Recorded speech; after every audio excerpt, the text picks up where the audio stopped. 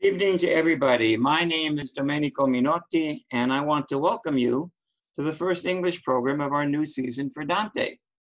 We are doing this in the era of uh, COVID via Zoom Room, and I think we've worked out most of the bugs, but if not, please bear with us and be patient. We've kept the topic a secret, uh, advertising only that it would be about a staple of the Italian diet.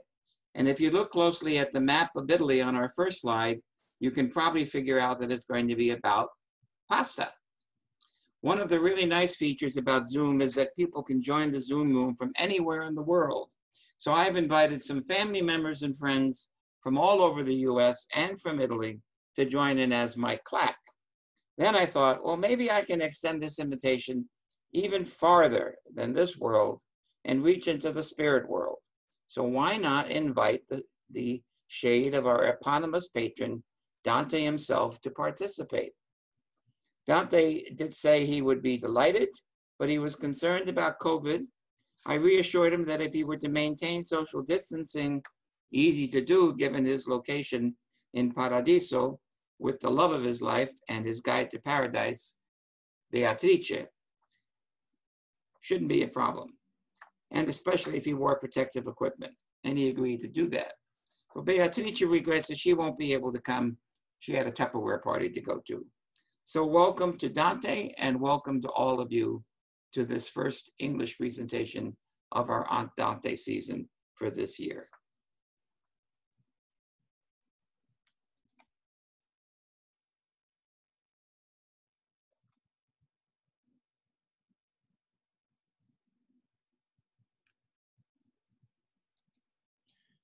So here's a map of Italy. And as you can see, if you look really closely, um, it's made from different kinds of pasta. And in fact, that's what our conversation tonight will be about. So here's Dante with his mask on. And here's uh, the first slide of our pasta presentation. All you wanted to know, maybe, about pasta, maybe more than you might want to know, Nearly every country in the world has a unique version of this staple. Uh, Germany and Hungary have spätzle, Poland, pierogi, Ashkenazi Jews have kreplach, Greece is orzo, and of course there's wontons. What does pasta come from? It comes from wheat, but a special kind of wheat, which is called durum wheat or pasta wheat or macaroni wheat.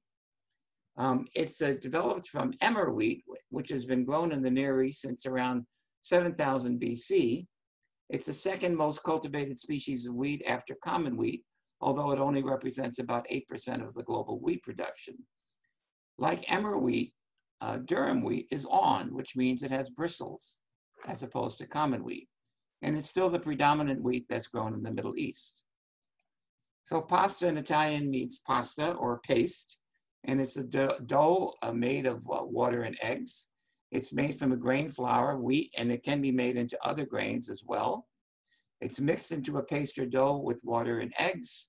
Uh, eggs in the north, uh, in the south, mostly semolina and water. Um, in modern Italy, commercial pasta is durum wheat alone. It's the only type of wheat that is allowed for in commercial preparations. It can be formed or cut into sheets, other shapes, and cooked by boiling, frying, or baking. Durum wheat um, are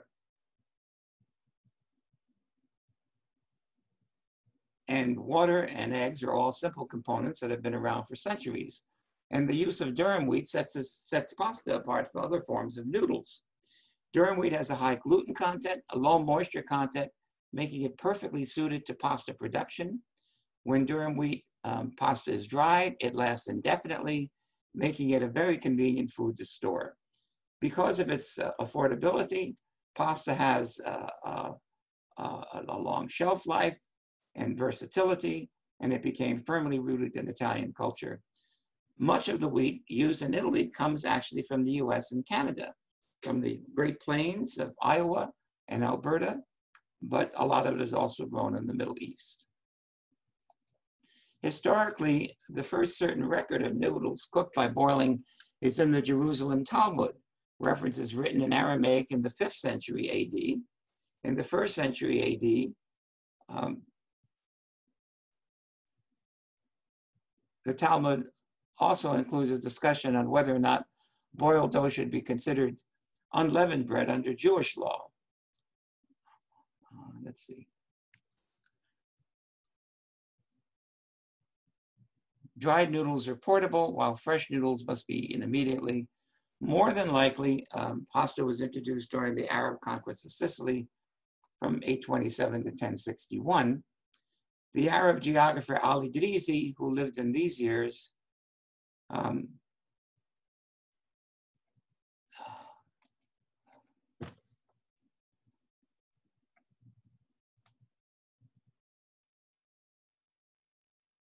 So what is pasta? Pasta is a starchy noodle or dumpling that's made from grain flour, mostly wheat, although there are other grains that can be used. It's mixed into a paste or dough with water and eggs. Traditionally in southern Italy, semolina and water are used, but in the northern regions where semolina was not available, regular flour and eggs were also used. In modern Italy, however, commercial pasta is always durum wheat, and it's the only type of wheat that's allowed for uh, making modern pasta. Once it's uh, formed, it can be cut into sheets and other shapes and cooked by boiling, frying, or baking. Unleavened dough, which is ground durum wheat and, and water and eggs, are all simple components that have been around for centuries. The use of durum wheat sets pasta apart from other forms of noodles. Durum wheat has a high gluten content and low moisture, making it perfectly suited to pasta production. When durum wheat pasta is dried, it lasts indefinitely, making it a very convenient food to store. Over time, because of pasta's affordability, shelf life, and versatility, it became firmly rooted in the Italian culture. Much of the wheat, durum wheat, that's grown is, comes from the US and Canada, exported to Italy, where it's made into pasta there, and then re-exported out to the rest of the world. The first certain record of noodles cooked by boiling is in the Jerusalem um, Talmud, references written in Aramaic in the 5th century AD. The Talmud includes a discussion on whether or not boiled dough should be considered unleavened bread under Jewish law.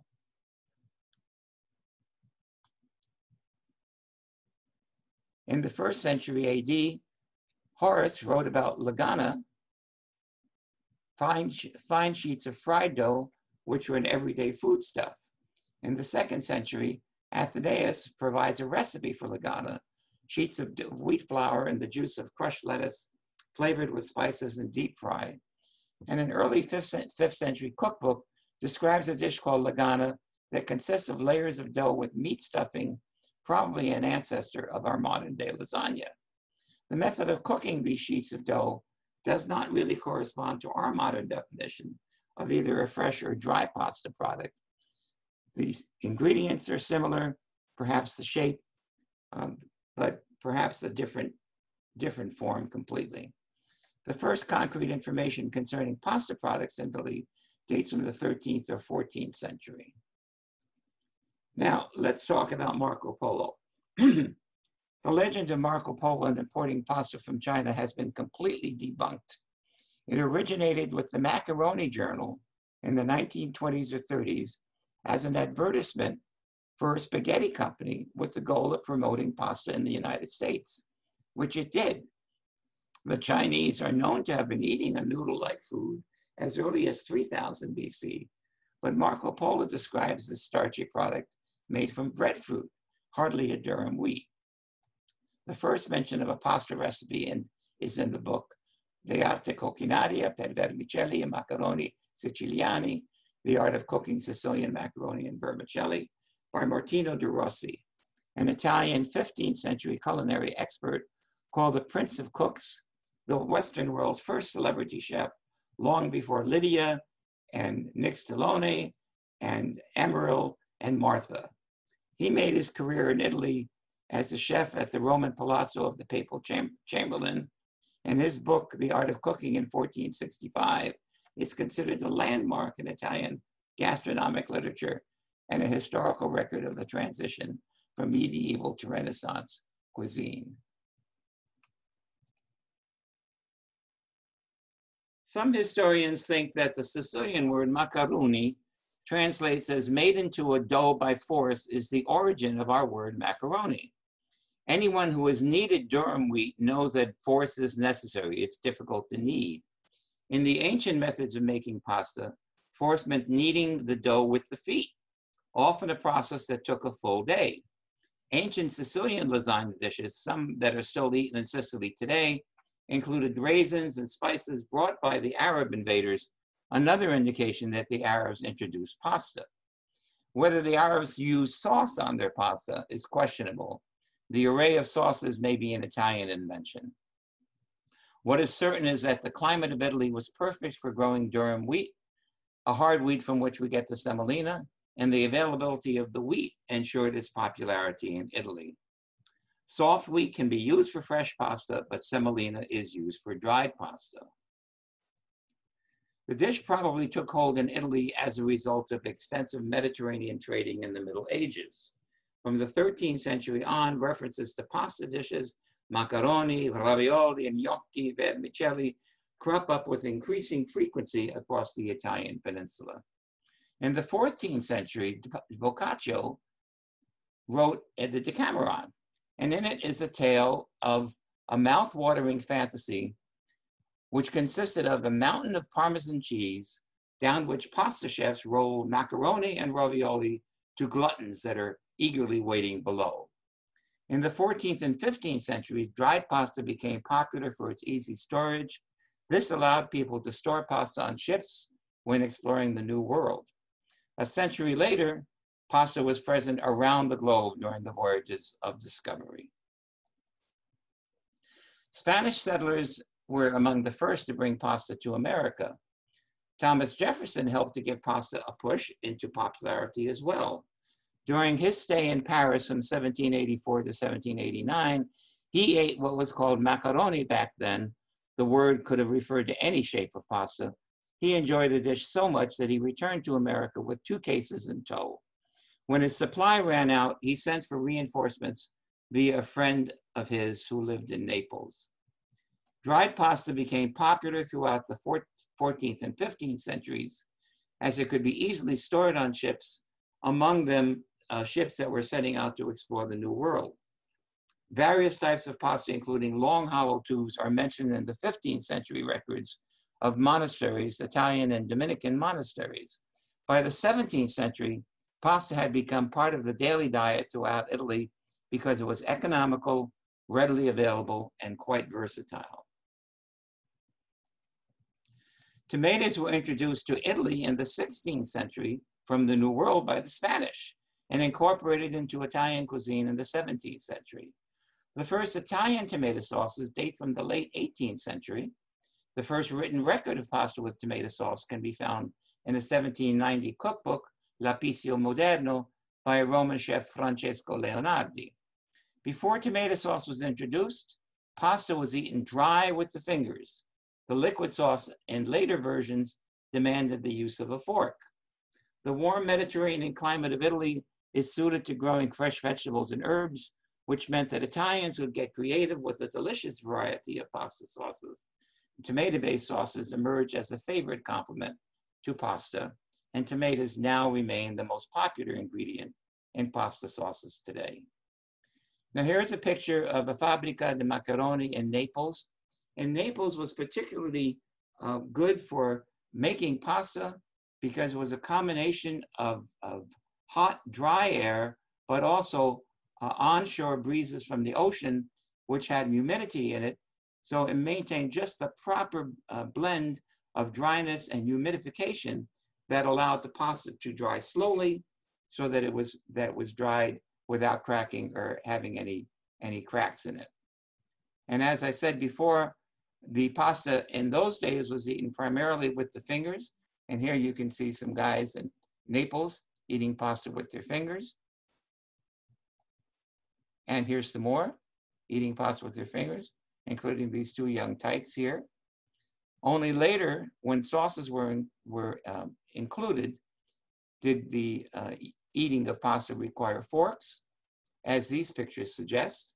But here you can see that even though you can see the forks in the, in the photograph, it looks like they're really almost eating it with their fingers or at least inhaling it completely. And for those folks who have not yet reached the age of eating with forks, uh, the fingers still suffice to get the pasta in or over, as the case may be. So nutrition facts. Um, there are three main uh, kinds of dishes, pasta asciutta, pasta in brodo, pasta al forno, but the nutrition is basically um, mostly carbohydrates, which is starch, 6% protein, low in fat, has some manganese in it, and some micronutrients. Pasta asciutta, of course, is cooked and served with a side sauce or condiment. Pasta in brodo are smaller shapes used in soups, and pasta al forno is baked in an oven. And then, of course, there's pasta secca, which is dried pasta, and pasta fresca, which is fresh pasta. Pasta secca is most commercially made via extrusion, forcing the dough through plates with various uh, shapes cut into them to make the pasta shapes that, uh, that are then dried. Pasta fresca is traditionally made by hand or with a machine. Both of them come in many shapes and varieties, long and short shapes, tubes, flat shapes, sheets, miniature shapes for, for soups, and other shapes that are meant to be stuffed. And of course, there are specialty or decorative shapes. And there's also pasta made from other grains like lentils, uh, garbanzos, uh, for gluten-free diets, etc. Now moving on to the different forms and shapes of pasta, there are 310 specific forms and 1,300 documented names which vary by locale. We're going to talk about a few of these uh, in the rest of the presentation. And this is the part of the presentation that will be actually on the quiz. So you might want to try to remember the names and think about the pictures that are associated with them. So the first set of, of pastas are tubular pastas, like spaghetti, a long, thin, solid, cylindrical noodle pasta. Spaghettini is thinner. Ini at the end of a word means smaller or, or, or thinner, ini here, etc. Um, ili or ette are also words that mean smaller or thinner. And then one, as we'll see later on, means a form that is thicker or heavier, etc. So capellini, which means the word itself means little hairs. And then of course is capelli d'angelo, which are angel, angel hair, the hair of angels, or our famous angel hair pasta. Our next slide will show um, spaghetti alla chitarra, which is a, a favorite from Abruzzo, uh, also made in Lazio, however, where it's called tonnarelli. And this is a string-shaped instrument, uh, wires on it. On the pasta sheet is, is, is put on top. A roller is made uh, to force the pasta through the strings, and it comes out as strands, which in cross-section are more square-shaped. In Tadni, a similar um, form is called cereole. In Genoa, bavette are similar pastas that are, that are long strands, but are oval in cross section. And then of course we have the fettuccine, which is ine, of course, and the linguine, which are also forms of pasta that are long, um, long noodle shapes. The next form of pasta we're going to talk about are the spiral shaped pastas, like rotini and fusilli often uh, used interchangeably. Rotini, however, are extruded through a machine. Fusilli are extruded and then twisted afterward.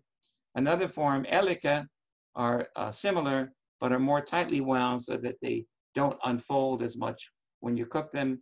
And then there are gemelli, which stands for twins, which is double twisted like a helix.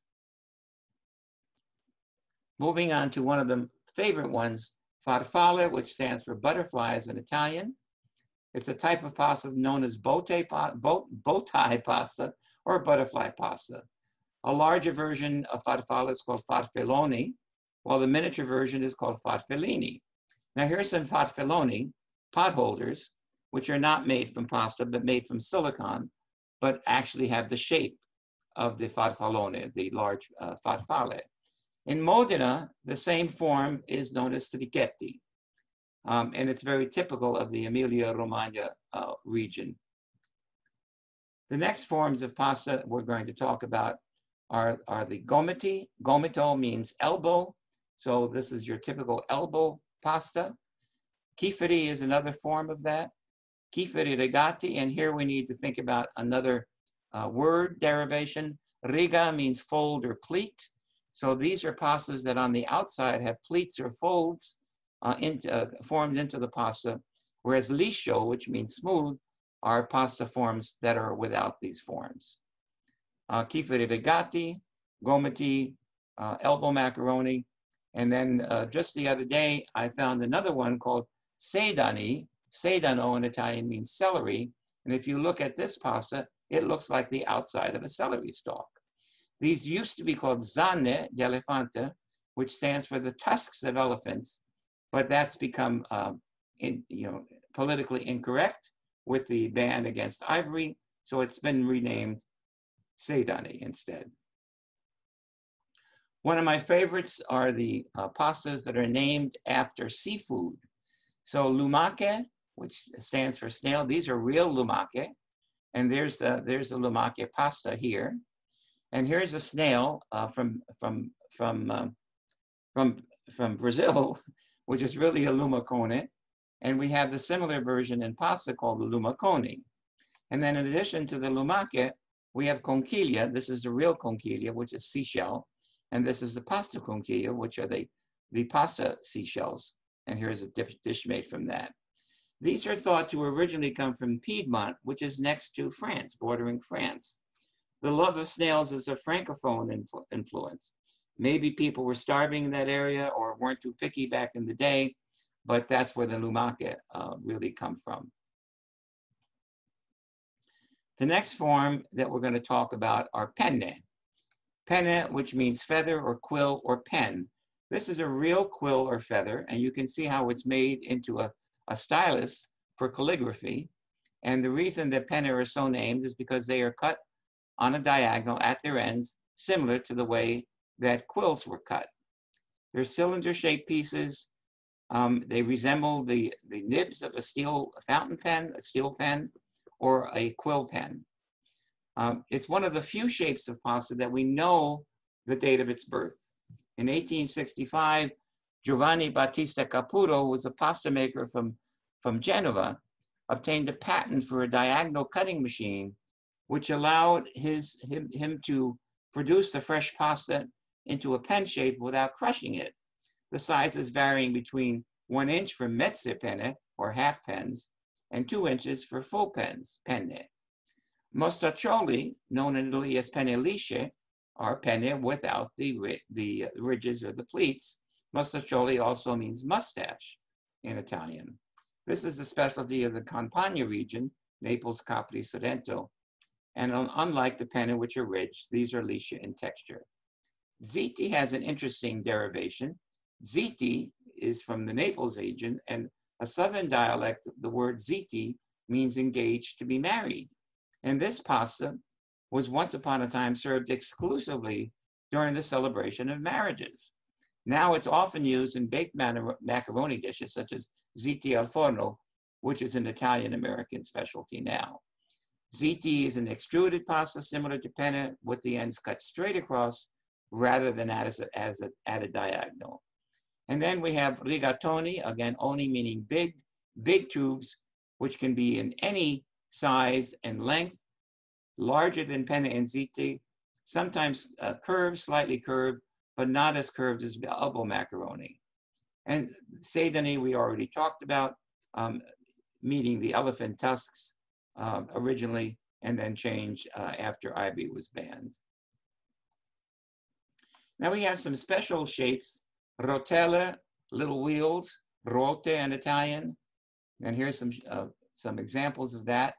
Fiore, which are, are, um, are flowers. Rotella we know in um, the US as, as wagon wheels and the fiore. And then we have radiatori and armonica, which call to, call to mind uh, engineering terms or musical instrument, radiators or harmonicas. The next shape I want to talk about are garganelli, which is from the Emilia-Romagna region as well, which is an egg-based pasta formed by taking a, a square of pasta and rolling it on a special instrument to form a tubular shape. These are ridged rigati, And here's another machine, pettine, which means comb. And um, these are garganelli lisci without the ridges. And whenever I didn't know uh, the derivation of a word, I would look it up. So I looked at garganelli in my Italian dictionary and couldn't find that word.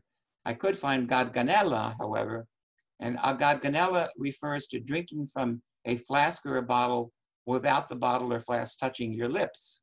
This is a practice that I tend to associate with Spain with leather um, flasks uh, holding wine, but I guess it's also known in Italy. The next pasta I'm going to talk about is orecchietti. Orecchio means ear. Orecchietti are little ears. This is uh, from Apulia. And uh, these tend to be a little bit chewier than, uh, than other pastas, and they're often served with broccoli sauces. And then we have mafalda, a ribbon-shaped pasta about a centimeter in width with wavy edges on both sides, usually served with a delicate sauce.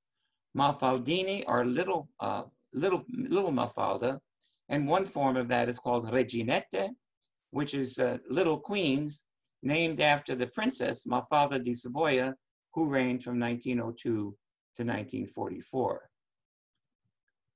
One of the more common ones that we will see are cannelloni. Cannella means reed, and cannelloni means large reeds, long cylindrical uh, types of pasta. Uh, cannelloni usually served with the filling and covered by the sauce. In Italian cuisine, popular stuffings including spinach, ricotta, minced beef, often stuffed with meat or vegetables, but often topped with the bechamel or tomato sauce. Manicotti, the word means cooked hands and makes you think about muffs where your hands would be kept warm in the wintertime. Manicotti is the Italian-American version of cannelloni, which gets treated more or less like cannelloni. In other words, the, the pasta is blanched, stuffed, layered, and baked just with American ingredients. Manicotti usually has this cheese filling and a red sauce. So they're, they're similar, they're both tubes. Manicotti tubes are ridged, larger and slightly thicker. Cannelloni tubes are smooth, a touch smaller and slightly thinner.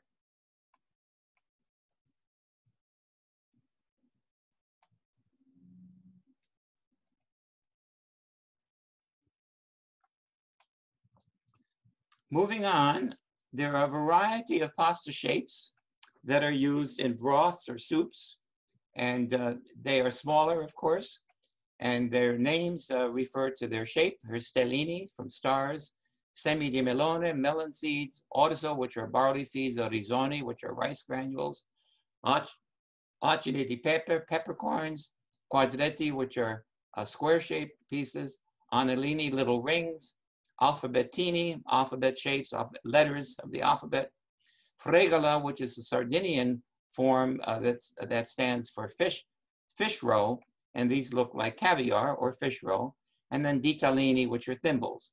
And these are shapes that are used uh, to add to soups or broths, etc. Moving on to ravioli, which are thin pasta uh, dough shapes with the filling, usually served in broth or with a sauce. They're commonly square, but they can be circular or semicircular. Along with tortellini, the most common use of the stuffed pasta shapes. Tiny, tiny round raviolis are often called medaglioni, little medals. So here's how they're made. They're made by hand here, partially by hand here, then cut with the cutting tool. They're made in forms that give you a semi-lunar shape with special rolling pins that, that produce a square shape. The medaglioni are made in this kind of form, and you can also make them in a machine where you put the filling and the dough all together, spin the crank, and out comes the ravioli already, already filled and ready to cut apart. This looks like an Atlas machine, or at least like the Atlas machine I used to have. And in the next slide, we see some familiar shapes of the round pastas, square, uh, square raviolis here, obviously made by hand uh, with the tines of a fork to, to pinch them together. Semi-lunar shapes, again here, and here's a, an, uh, an example of a ravioli dish. There are some spe specialty shapes that are kind of interesting. Caramelle, which stands for uh, candy in Italian, are, are pasta shapes that are twisted at the end uh, like, uh, like candies and with the filling. and sometimes the filling is, is visible if they leave it partly open. It's an egg, an egg, an egg, egg-based uh, soft pasta that's often stuffed with the base filling. And the next one is sacchetti, little purses or money bags with scrunch tops with meat or cheese fillings. And then sacchettoni, which are uh, beggar's purses, are larger forms of that, uh, again filled with uh, various fillings and then fastened at the top. Let's move on to lasagna that we mentioned briefly before, but we're going to spend a little bit more time on now. The Greek word uh, laganon uh, is, is thought to be the origin of the word lasagna. And laganon refers to a flat sheet of pasta dough cut into strips, still used in Greece to mean a flat, thin type of unleavened bread baked for the holiday Clean Monday. Now, Clean Monday is the Monday before Ash Wednesday. So it's similar to our Mardi Gras in that it is the last day on which you can really stuff yourself and eat whatever you want. And so Clean Monday was a day in which these particular pasta noodles were, um, were, were baked and served with seafood and a sauce. Um, another theory is that the word lasagna comes from the Greek word lasana, which means a trivet or a pot or a chamber pot. The Romans took this term over and used it to mean not only the cooking pot, but also the trivet and, and the, uh, the cooking pot, the trivet, and the pasta itself. And later the food take, took on the name of this serving dish. It's interesting that regional usage in Italy, when referring to the baked dish, favors the plural lasagne in the north of the country and also in Great Britain, whereas the singular form lasagna is favored in the south and in American English. And here we see lagana, the original uh, Greek bread still used in the Greek uh, Eastern Orthodox Church, very similar to matzah, two forms of that. And here's the lasagna sheets. And here you see lasagna strips that are uh, uh, crenellated on the side, ruffled, etc. So there are many different varieties and forms of that. We'll see a few of those. So lasagna was known in Italy in the Middle Ages in the city of Naples. The first recorded recipe was in the 14th century cookbook, uh, Liber de Coquina. Lasagna refers to the white flat pasta and also the dish that's made from it. In Bologna, as we know, uh, there's a favorite dish, uh, lasagna alla, alla bolognese, lasagna bolognese, which are traditionally green pasta, which is made by using spinach or other vegetables in the dough and served with a thick ragu of onions, carrots, celery, ground pork, beef, butter, tomatoes, etc., and served with bechamel and Parmigiano Reggiano cheese. Variations of lasagna type pasta depend on the size and shape and whether the edges are ruffled. Lasagnetta is a type of ribbon pasta, a narrower, narrower version of lasagna. And festonella are small squares that are cut from the lasagnette. Pantacce are small pieces of lasagnette that are also cut with slightly uh, uh, slight differences between the two. Here's a typical uh, lasagna dish. Here's lasagna. Here's the bolognese lasagna, the green pasta. Here's the pantacce cut on the diagonal from the lasagnetta strips. And there's the festonelle, which are cut square cut rather than on the diagonal.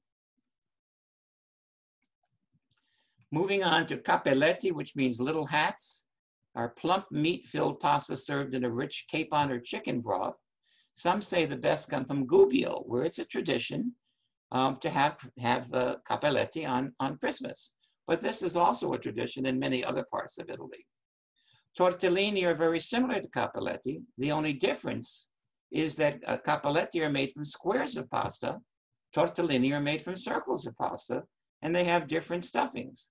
Tortellini are ring-shaped from the region of Emilia uh, Romagna, Bologna being the main city there.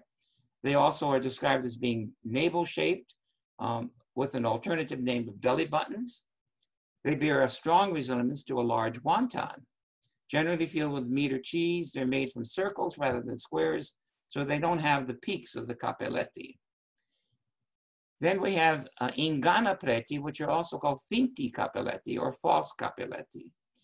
These are, this is another pasta that comes from Emilia Romagna, was a joke at a joke at the expense of the clergy.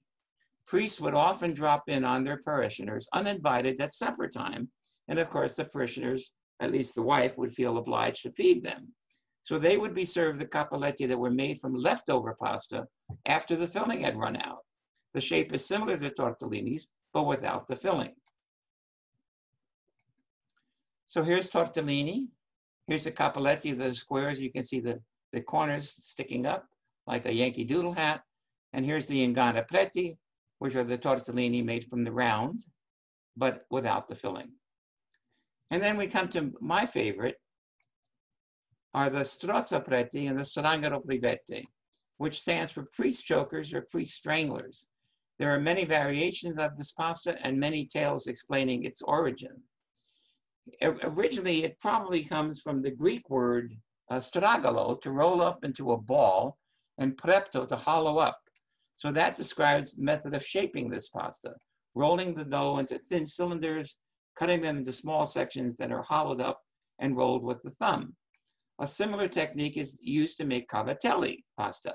From the Latin word cavare, meaning to hollow up, our word cave comes from that, which is another uh, long hand-rolled macaroni um, uh, that's, uh, that's made from soft pasta as well. So the strozzapreti refer to two different versions of pasta. Um, it started in southern Italy uh, with the strangolapreti, the priest, the priest stranglers or priest chokers. So in 1524, Antonio Camuria, who was a cook that worked for the noble Neapolitan family of the Carafa, made uh, this strangolo which is a snort of gnocchi. He made it by mixing together caciocavallo cheese, ricotta eggs, almonds, shaping it into small balls of strogolos in Greek, cooked in chicken broth, and finally served with more caciocavallo cheese and dusted with sugar and cinnamon. Yum. The recipe of Camuria refers not to the macaroni pasta, but likely to this gnocchi type pasta. The literal translation of strozzapreti is priest chokers or priest stranglers. Priests who were notorious for their gluttony were so fond of this pasta, and they ate it with such speed and such greed that they would choke on it. And the husbands of the cooks who had marked anti-clerical, jealous feelings, wished the priest to choke on their supper and would stand by smirking while the priest choked away.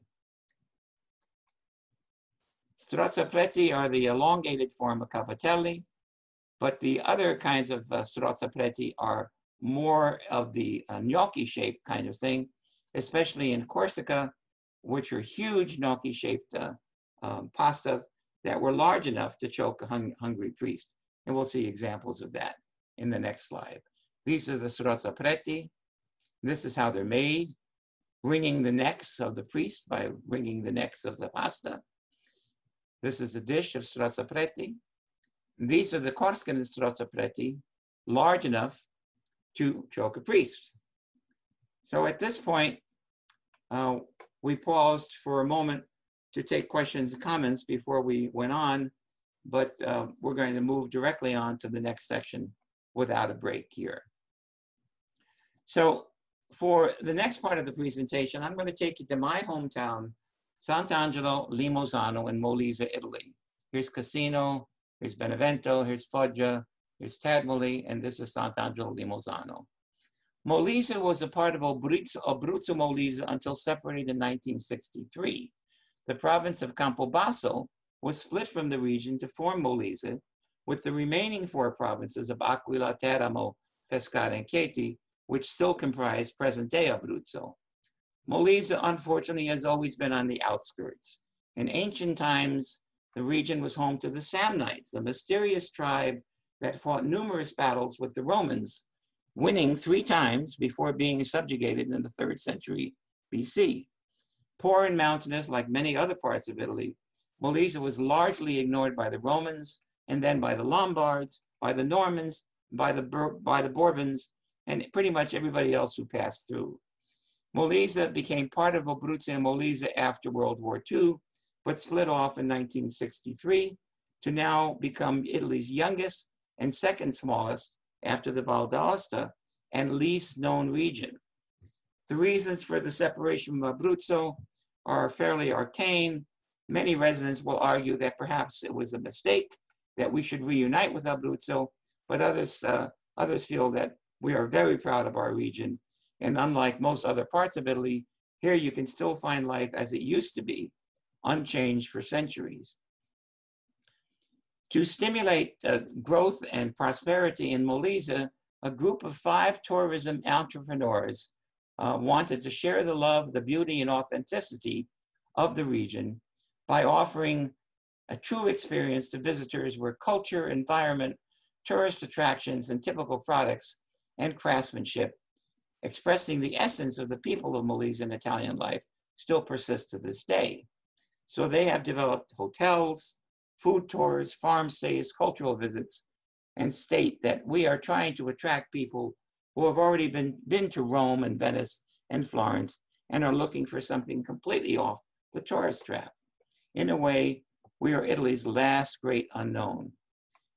It's a region that has historically struggled with poverty, isolation, earthquakes, and depopulation. In the mid 19th century, my little hometown boasted over 1,600 inhabitants.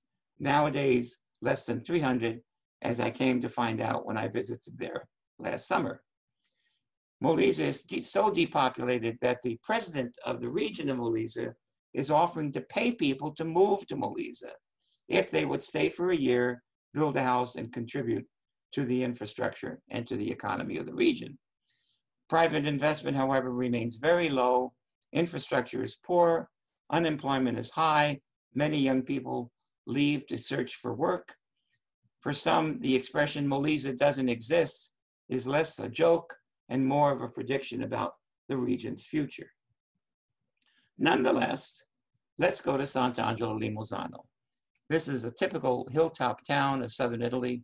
Here you can see La Rampa.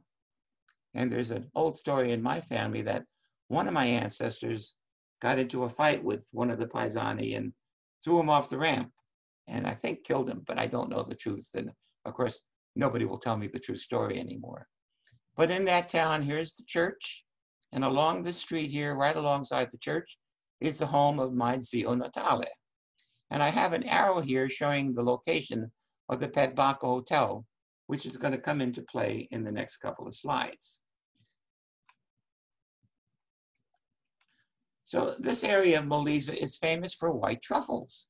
So in the cellars of this Pet Bacco Hotel, which is here, right next door in this building lives my cousin still, my cousin Virgilio. In this Pet Bacco Hotel, you can see some paesani enjoying themselves. This is a typical cantina, or one of the rooms that's formed there. It used to be a castle, and they had a festival, and at the festival, they served strozzapreti al tartufo. So here you can see a sign showing uh, outside the festival. The Cantina Castello, so named because a castle was once on that site, and the dish was strozzapreti al tartufo. Another sign reads, Il bello del vino è che per due ore i tuoi problemi sono di altri. The beauty of wine is that for two hours at least, your problems become the problems of other people. And for this festival, they did in fact serve strozzapreti al tartufo. Here's a strozzapreti. Here are the shavings from the white truffles served with it. You can just imagine the twists and necks of Fries as you look at this dish. The next slide shows um, a copy of the quiz, which is going to be hard to see on, on, this, uh, on this slide, but you will, you will be able to um, upload it or download it rather from this link here, which will show you not only the quiz, but the answer key, which will be the next slide, and um, also a recorded version of this presentation, as well as uh, two other versions that are text without narration, one in English and one that I translated with the help of Google Translation into Italian. So these are the answers to the clues. You'll be able to download that from the, uh, from the site. So, basta basta. I think probably enough. I covered just a few of the 310 different, different uh, forms of pasta and the 16, over 1600 different names. So with that, I say allora grazie per la vostra collaborazione e attenzione e auguri a tutti. Thank you very much.